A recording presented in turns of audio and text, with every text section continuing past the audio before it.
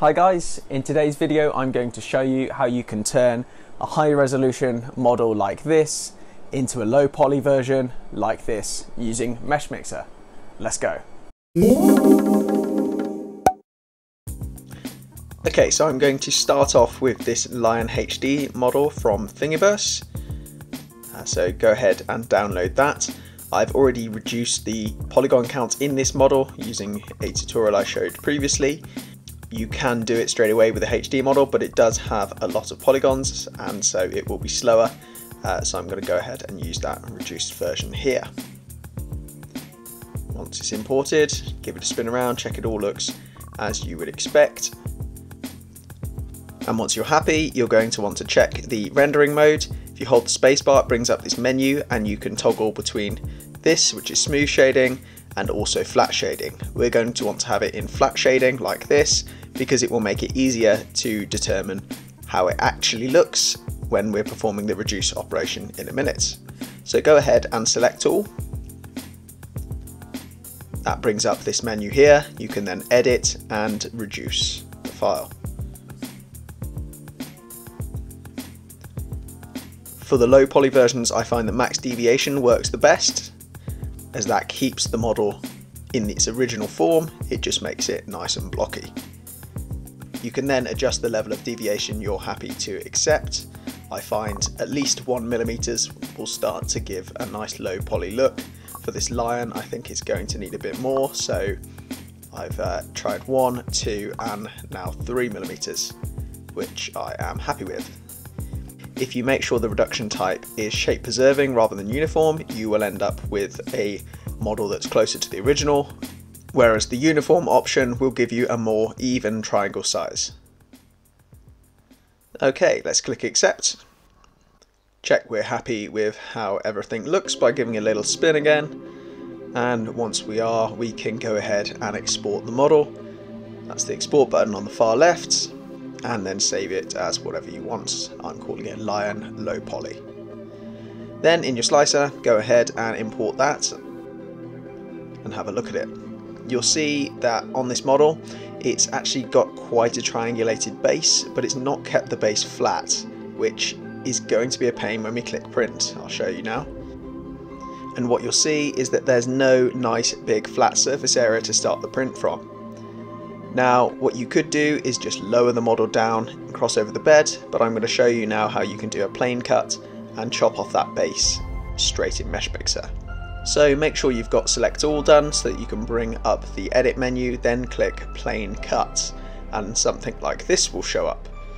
Using the blue arrow you can pull the plane up and down like so and that little green button in the bottom left it says S is the snap feature if you make sure that's off, then you'll be able to drag the plane really easily uh, exactly where you, you want it. I find when chopping a model like this, it helps to look at it from underneath so you can see when you've actually chopped off enough to make it completely flat. See here, at this point I can see that I've taken enough of the model off to ensure that the whole base will be flat. So I can go ahead, click accept, and voila, that's much nicer and will produce a good print. Can then again export as I did before. And now if I bring this one into the slicer, you'll see it has the nice flat base when I click and show the print preview. There we go. Much better. I'm now going to show you how you can perform the process with a little bit more control on a model where some of the detail actually needs to be preserved. So I'll go ahead, import and replace, and choose this model. I'm going to use a Bulbasaur planter here. I've seen lots of these made into low poly versions, so it's a good one to pick. Since this model has loaded in in the wrong orientation, it's probably a good time to show you some of the, more of the controls in Meshmixer. So if you go across to the edit menu on the far left, you'll be able to transform the model. There's this little origin axis that shows up with the bars around the outside which enable you to rotate the model in each of the planes. The arrows enable you to move the model in each of the planes. Once you've got it positioned how you want, you can then click accept and continue with the process. So I've chosen this model as a demonstration piece because there's a few areas that I think will benefit from not being reduced. So we're going to need to select them. We do that by going to select, making sure it's on the brush tool and make the brush a reasonable size so that we can drag across like this and select the triangles. I've sped this up because it takes a little while. You want to go around and select all of the areas where you uh, won't want the model to be reduced. If at any point you go outside the lines, you can always click undo, which is Command Z on a Mac or Control Z on a Windows PC. I'm also going to do the undersides of the feet here, these little circular sections, because that's where water will drain out of, and we don't want these holes being made smaller in the reduction process. By selecting all these areas, it means we will be able to protect them when it comes to doing the reduction. For small, detailed sections of parts, it helps to have the brush size really small so you can select triangle by triangle, but for the larger parts, it's handy to save some time with a few other Meshmixer features. You'll see I just turned the symmetry on and have increased the brush size so I can do these eyes really quickly.